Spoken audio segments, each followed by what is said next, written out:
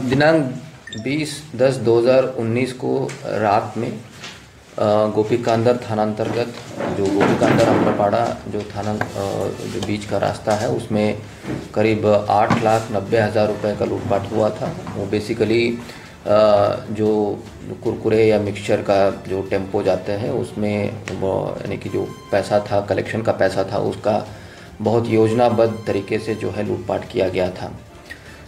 इसमें हम लोगों को सूचना मिला क्योंकि जो हम लोग को जैसे ही सूचना मिला तो हम लोगों ने एक टीम गठित किया, एसडीपीओ सदर के नेतृत्व में, इंस्पेक्टर काटीकुंड और थाना प्रभारी गोपी कांदर।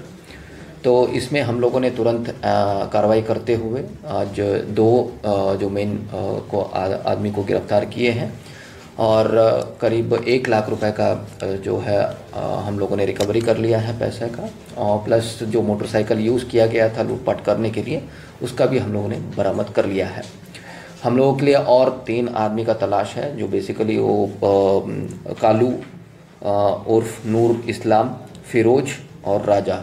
ये तीनों जो है, अभी जो ये दो आदमी जो पकड़ा गया है, ये नलहटी के रहने वाले हैं। ये पूरा बंगाल का गिरोह था। और इसको जो है लूटपाट का घटना का अंजाम किया है। बेसिकली और ये कालू का नलहट्टी का है और फिरोज पाकुड़ के रहने वाले हैं और राजा जो है, बीरभूम ज़िले के रहने वाले हैं। अभी पुलिस को ये तीनों का तलाश है और मास्टरमाइंड के रूप में जो है फिरोज और कालू और राजा, ये तीनों लोग जो है मेन प्लान करके और अभी जो पकड़ा हुआ है रमज़ान और आशिक रमज़ान ड्राइवर है और ड्राइवर को पहले ही बताया गया था कि आपको गाड़ी को स्लो कर देना है ताकि ये सारे लोग आके वहाँ पर लूटपाट का घटना का अंजाम दिया जा सके।